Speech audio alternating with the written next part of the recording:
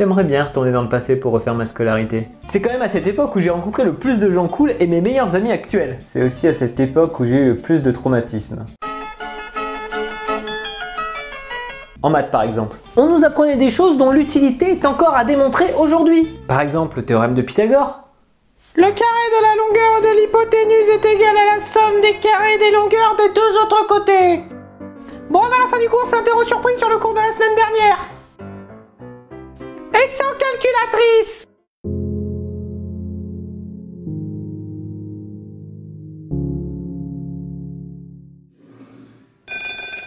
Ne partez pas tout de suite, je vous cherche les DM de maths à rendre pour la semaine prochaine. Si j'arrive à partir sans qu'elle me voie, je dirais que je l'ai pas eu. C'est le moment ou jamais.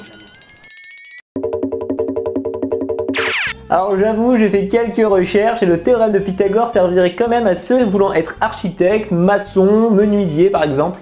Et voilà le bordel quand on suit pas les cours Les cours de français maintenant. Deux choses m'ont marqué pendant ces cours. La première, les dictées. J'avais la prof la plus sadique du monde. Quand on avait assez de fautes pour cumuler des points en dessous de zéro, elle les enlevait de la prochaine dictée. Heureusement que l'année suivante j'avais une nouvelle prof, hein, sinon j'étais mort.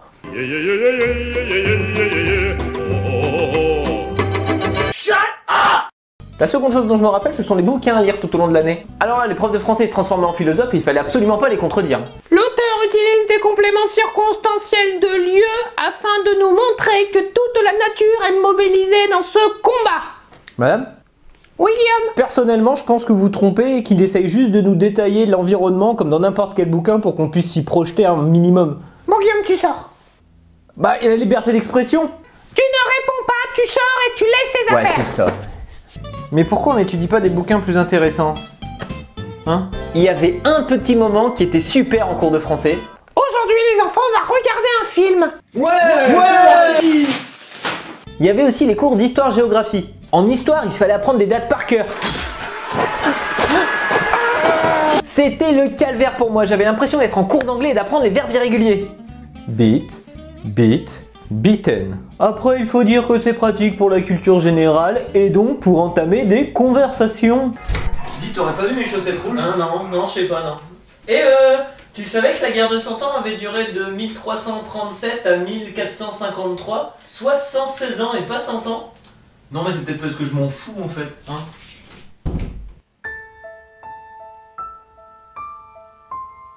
Nous, ce qu'on voulait, c'était s'imprégner des lieux historiques en visitant des châteaux forts, par exemple. Est-ce qu'on parle de la géographie aussi Oui Non, parce que c'est comme l'histoire, ça sert pour la culture générale en fait. T'es sûr que t'as pas vu mes chaussettes rouges Non, je te dis, je sais pas.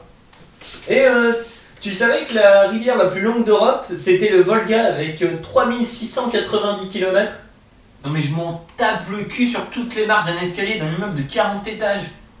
Je m'en fous. Personnellement, j'ai adoré mes cours d'histoire géo. On avait un prof tellement stylé qui nous a fait un cours sur le Japon. Eh les enfants, vous savez comment s'appelle la ville la plus froide du Japon?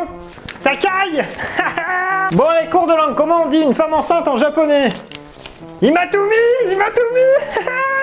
Il rigole, il rigole, l'ai vu Et comment on dit un caleçon en japonais? Hein? Sakakiki! Sakakiki! N'essayez pas d'utiliser ces mots lors d'une conversation avec un japonais. Je vais maintenant vous parler du cours qui m'a le plus déçu pendant 4 ans. L'anglais. Pendant 4 ans, j'ai eu ce genre de prof. Mon but ici est de vous apprendre à parler l'anglais.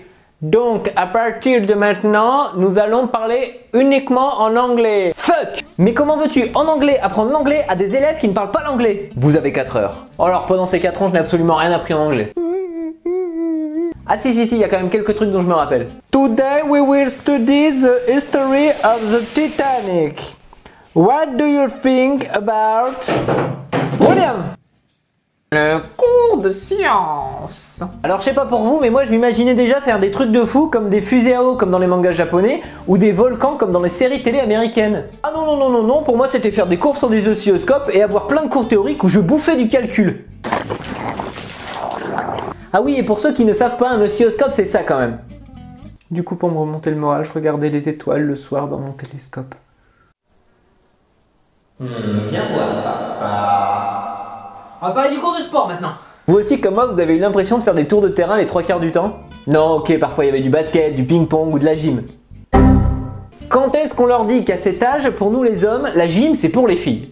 Notre virilité en prend un coup à nous les mecs. Et pourquoi on ferait pas quelque chose d'un peu plus spécial et en relation avec les autres cours? J'ai appris qu'en histoire géo vous aviez parlé du Japon, alors aujourd'hui c'est maniement de sabre. Bon, comme vous avez parlé du Titanic en anglais, cette semaine c'est natation à la plage. Hein. Euh, Pour ceux qui n'ont pas leur maillot, c'est pas grave, j'en ai apprêté. Bon, comme en ce moment vous parlez du Moyen-Âge, aujourd'hui c'est tir à l'arbalète et la semaine prochaine joute médiévale. Le rêve quoi. Il y avait aussi les cours de philosophie. C'est quand même le seul cours où j'ai eu des bonnes notes en répondant de la merde. C'est aussi le cours où tu apprends pour la première fois que des gens cherchent à répondre à des questions qui n'ont pas de réponse. Ah oui, les fameux cours de techno. Tout ce dont je me rappelle, c'est d'avoir gravé mon nom sur une plaque en plastique et balancé des boulettes d'étain sur mes camarades de classe. Ah non, je me rappelle aussi du mec qui s'est cramé le pull avec son fer à souder.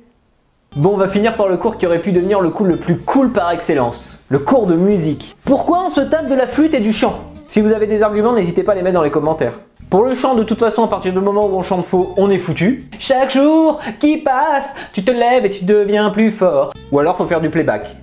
On veut tous être nos meilleurs dresseurs et prouver de quoi on est capable. On veut tous se montrer à la hauteur d'un destin qui paraît incroyable.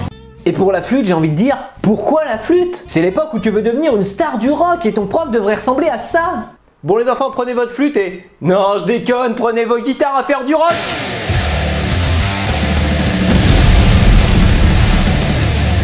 J'espère que cette vidéo vous a plu et si c'est le cas, n'hésitez pas à la partager hein, parce que ça me ferait quand même un petit peu plaisir, hein, je serais tout content. N'hésitez pas aussi à vous abonner et à me proposer de nouveaux thèmes. Je compte sur vous. Plein de bonheur et d'amour pour vous et à la prochaine.